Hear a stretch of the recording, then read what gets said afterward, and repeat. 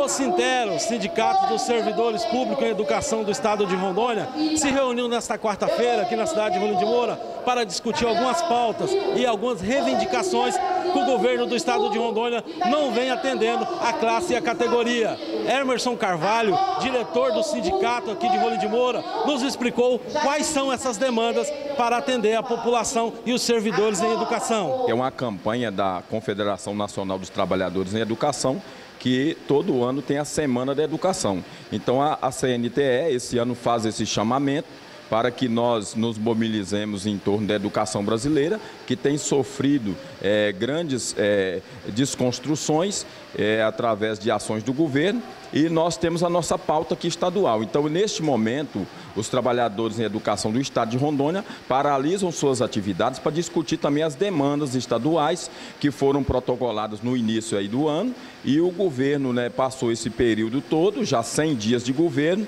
não respondeu às reivindicações do sindicato é, com relação aos problemas que nós temos é, no nosso plano de carreira, que necessita de reformulação.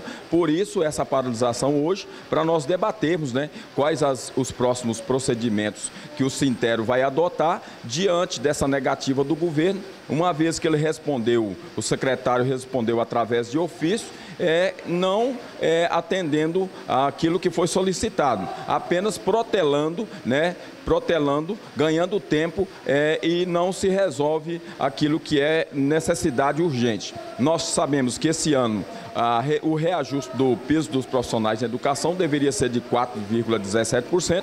No entanto, o governo não tem sinalizado de resolver essa problemática. E nós temos lá inúmeros, inúmeros problemas é, com a categoria e a gente busca né, que o governo possa dialogar e atender isso o mais rápido possível. Nós convocamos essa paralisação e essa reunião aqui é, na sede do sindicato para nós discutirmos um, o Senado da Educação Brasileira e também a nível estadual. No entanto, a Assembleia é soberana. Se eles é, achar por bem que nós é, temos que ir à rua para dar um recado à população, nós vamos aguardar agora a deliberação e, se for assim, nós estaremos indo para a rua para dizer para o povo os motivos da paralisação estadual e também o que está ocorrendo a nível nacional é, é um procedimento que nós temos e nós é, buscamos sempre a negociação com o governo. Uma vez que o governo não negocia, aí a gente busca outras alternativas. Então, o primeiro passo é paralisar, buscar um diálogo com o governo, que até hoje não teve nenhuma audiência formal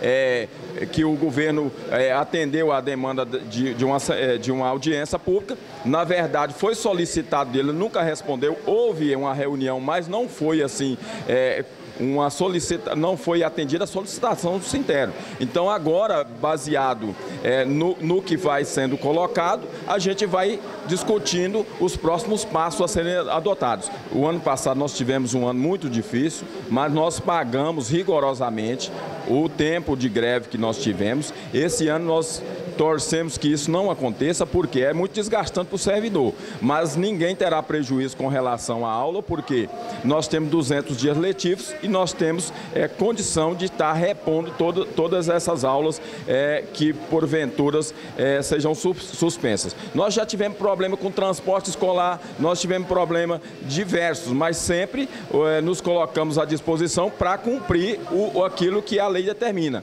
Então é importante que a sociedade compreenda que nós estamos lutando não apenas pela valorização salarial, mas também por uma educação de qualidade. Nós temos, por exemplo, a lei da gestão democrática, que deveria ter a eleição dos diretores esse ano e, por enquanto, não aconteceu, que era para o mês de março. Então, nós não podemos é, deixar que essas políticas públicas que foram construídas há décadas sejam destruídas por um governo recém-empossado, sem que haja um debate com a sociedade. Então, a sociedade, é bom ser esclarecido que toda essa luta nossa de classe também é para melhorar a condição dos nossos alunos.